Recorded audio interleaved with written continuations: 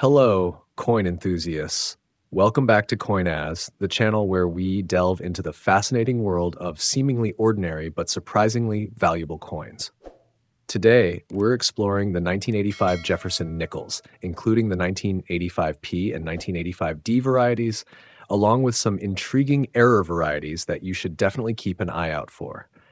These nickels have unique characteristics and values that make them appealing to collectors. Before we dive in, don't forget to like this video and subscribe to our channel for more insights into rare and valuable coins. Now let's dive into the world of the 1985 Jefferson Nickels. The 1985 P. Jefferson Nickel. First up, the 1985 P. Jefferson Nickel, minted in Philadelphia with a total mintage of over 647 million coins.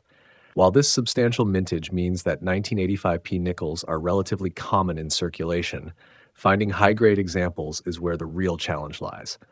The 1985P Jefferson nickel becomes scarce in MS65 full steps condition and very tough to locate in MS66 full steps. MS67 specimens and higher are considered rare.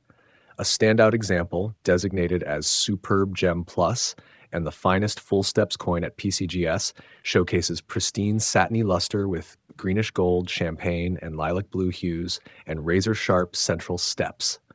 This gem sold for an impressive $9,066 in 2024 at Heritage Auctions. The 1985D Jefferson Nickel Eye. Next, we have the 1985D Jefferson Nickel, struck at the Denver Mint. Although its mintage is lower than that of the 1985P, these coins are still readily available in circulation. However, high grade examples, especially those graded MS65 or higher, hold more value. A 1985D Jefferson nickel in such a grade can fetch prices ranging from 5 to $20, making them a valuable addition to any collection. While the 1985 Jefferson nickels are generally common, some error varieties can pique the interest of collectors. Off-center strikes are another error to look for. These occur when the coin blank is not properly centered in the coining press, resulting in a portion of the design being cut off. The degree of off-centering can vary, with more dramatic examples being more valuable. An off-center strike on a 1985 Jefferson nickel can range from 10 to $50 or more, depending on the severity and the amount of missing design.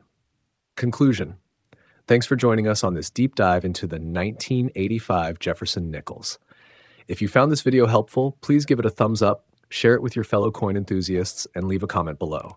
Don't forget to subscribe to our channel for more numismatic adventures and insights. Happy collecting, and we'll see you next time.